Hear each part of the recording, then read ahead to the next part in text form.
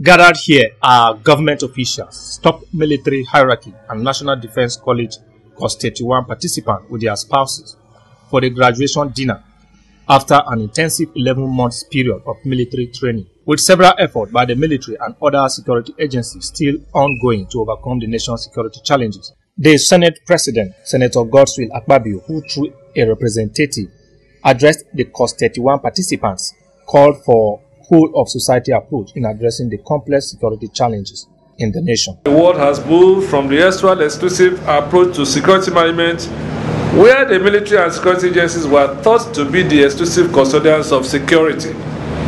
Globally, the whole of society approach to security management has been heralded as the way to go on matters of security.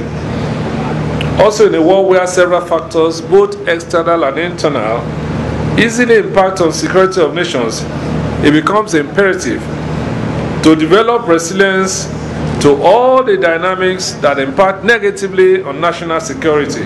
The NDC Commandant, Rear Admiral Olumuyiwa Olotu, said the 11 month period at the military college has impacted positive knowledge on the participants.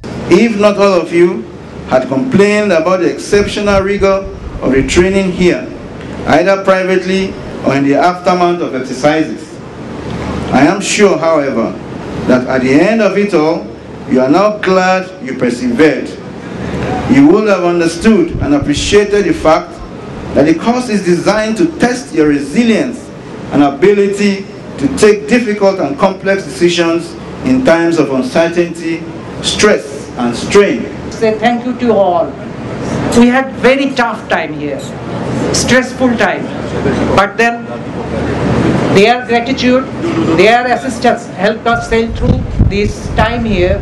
High point of the event was a presentation of awards to outstanding participants and college staff. John Taylor, ITV News.